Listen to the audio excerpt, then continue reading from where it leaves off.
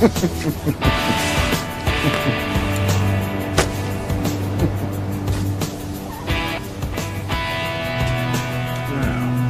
Right on time. I thought you would be.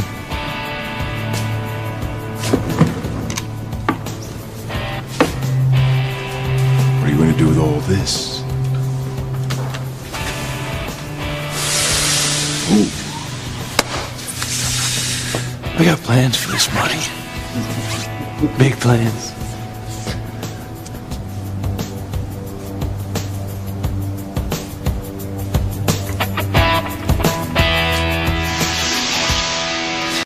Trust me, it's all there. I hope you're not going to count every bill, because I'm getting sick of looking at that face of yours.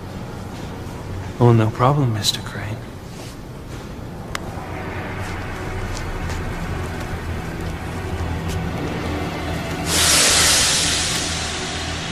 Crane. Well done. No wonder you're so expensive.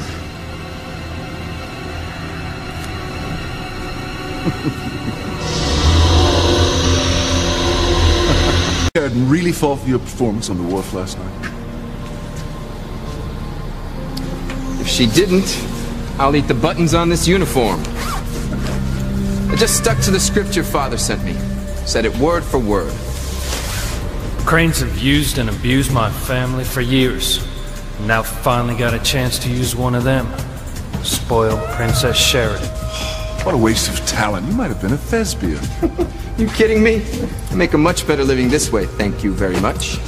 Yeah, just see to it you destroy all the evidence, the uniform mask, even that uh, computer-generated mold of Luis's face. Don't worry, I'll take care of everything. Well, you better, because if Luis ever found out what we've done, there's no doubt in my mind he'd bring down the entire Crane Empire.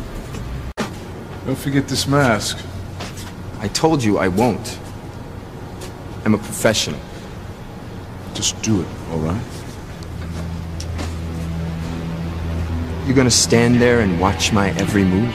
No reflection on you. It's my own peace of mind. I just don't want any untidy, loose ends. There won't be any. The only thing there's gonna be is one major broken heart. Your sister's. It's pity. It's for her own good, the good of the family. I wish I could be there the next time Luis and Sheridan meet up.